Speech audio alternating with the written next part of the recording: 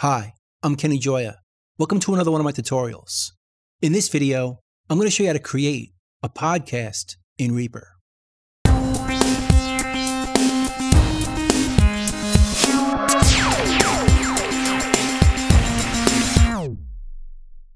Now, one of the hardest parts of podcasting is having to edit later. So, what I usually recommend is creating a system where we could do it all live with very few edits. So, the first thing I want to set up is our intro and outro music. So, create a new track. I'll name it music. I'll give it a color. Then I'm going to set up a MIDI input to this track. So we could trigger our intro music and our outro music with a USB MIDI keyboard. So I'll set the input to MIDI, my USB MIDI keyboard. Turn on input monitoring and put it into record. So if I play my keyboard, I should see level right over here. And I do. So I know it's working. So now I want to create a sample playback plugin on this track. So we'll go right here to the effects, and then we'll choose under Reaper, ReaSamplOmatic 5000, which we could use to trigger our intro and outro music. So now I'm going to go to the View menu and choose Media Explorer. And then I'm going to choose my intro and outro music. I'm going to go to my sound library, and right over here is my intro music. And over here is my outro music. So we'll start with the intro and drag it in to this plugin. Then I'm going to choose a note start and note end to trigger it. I'll type in 36, which is C2 in both spots. And if I hit C2 on my keyboard, it's going to trigger our intro. Let's add another plugin for the outro. We'll copy this and paste it.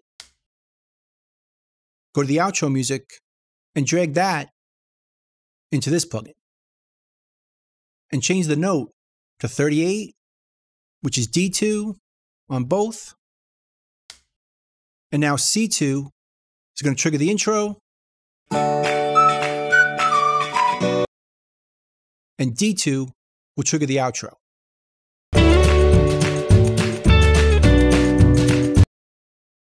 Now I want a way of controlling the volume of each of them. So I can mix them in and also fade them out when I need to. And we could do that with our USB keyboard as well, if there's any faders or knobs on it. So we'll start with the intro. I'm going to grab the volume and just move it and go up here to the parameter menu and choose Learn. Then I can move a fader or knob on the MIDI controller to teach Reaper to control that parameter. So now if I move that fader, it's going to change the volume for our intro. Let's do the same thing for the outro, using a different fader on my keyboard. Just move this one back and forth, go to the menu, learn, move another fader or knob, and Reaper is going to learn that function. Now I can move it and adjust the volume for the outro music. So let's see how it works in practice. Starting with the intro,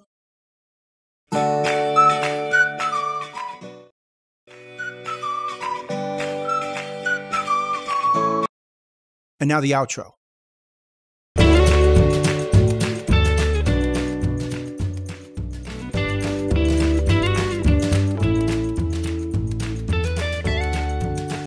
Perfect. And now let's create some tracks for our vocal mics. For the talent, let's add one here, name it mic one, give it a different color, and set the input to mic number one. which for me is when my first mic is plugged in to my computer audio interface. I actually have four mics for this project, but you can use as many or as little as you need. Let's turn on monitoring for this track and put it into record.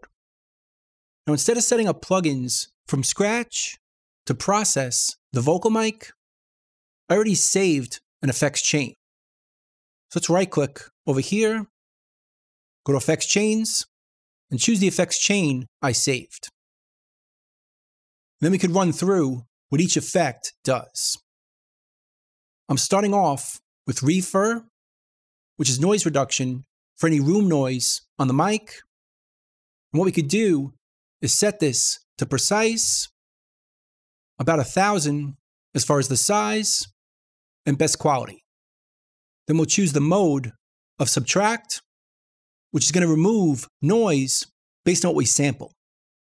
So let's reset this, turn on, automatically build noise profile, and see how it shows up when we turn on the mic. See how the profile shows up? This is what we want to reduce, or sample to reduce. Let's turn this off. This is going to reduce any noise or room tone from the mic. Now let's check out what I added afterwards. The first thing I added was a three band splitter, which is going to split the EQ into three separate parts. The low end, which is 120 hertz, all the way down. The mids, which is 120 to 4K. And the highs, which is 4K and up. And it splits the frequencies, as we can see in the pinouts. Right over here. It comes in with two inputs and goes out with six. Three stereo pairs for low, mid, and high. Then we can put a compressor on each band. I have one for low, mids, and the highs, with a fast attack and a pretty fast release. And it's going to work on each frequency completely separately, creating a more polished sound. And the way it's being split on the pins, the low end, one and two, going to one and two, the mids is three and four, going to three and four, and the highs are five and six, going to five and six. And then it's going to combine them with this plugin, three band joiner. And we could hear each frequency by turning the other two off. So the low end sounds like this. Microwaves. This is a World War II attempt to communicate. And it's compressing right here. Microwaves. This is a World War II attempt to communicate. Or the mid range that we're compressing over here. Microwaves. This is a World War II attempt to communicate.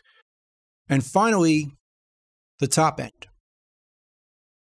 which we're compressing over here. Microwaves. This is a World War II attempt to communicate.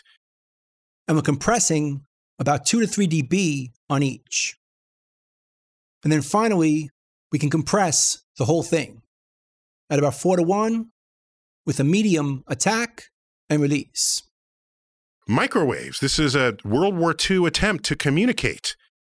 Again, about 2 or 3 dB of compression, giving us a very polished sound, as each frequency is compressed separately and then combined.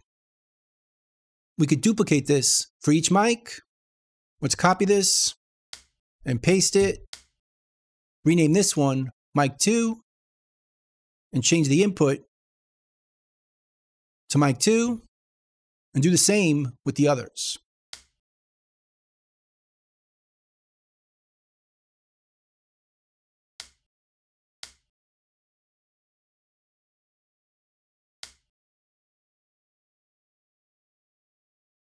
And now we're ready to record our podcast.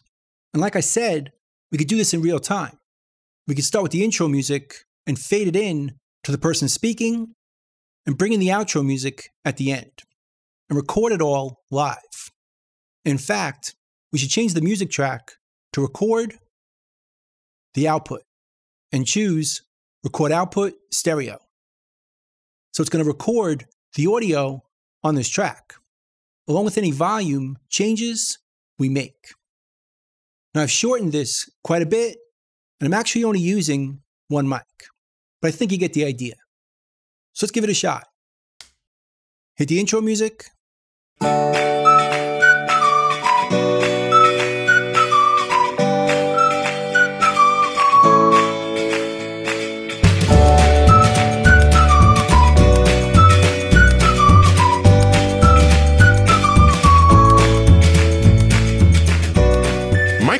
This is a World War II attempt to communicate using microwaves.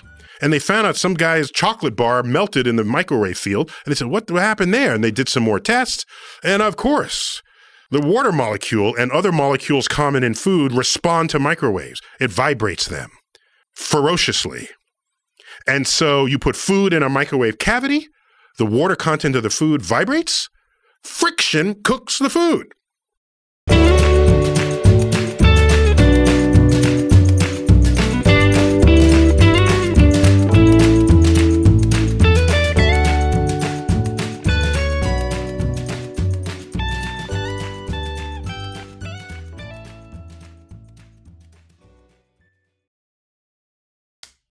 And just like that, we recorded our podcast.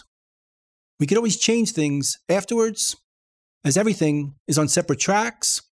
But if you get pretty good at this, as far as doing the fades and bringing in the vocal, you can get away with doing less editing. And then when you're done, we can just render this to an audio file. Just go to the File menu and choose Render. And we can render the master mix based on the entire project, give it a name, our sample rate, make it mono or stereo, choose the output format, could be a wave or an MP3, and just create your final podcast file. So that's pretty much it. That's how to create a podcast in Reaper. I hope you learned something. Hope you can use it, and I'll see you next time. Thanks.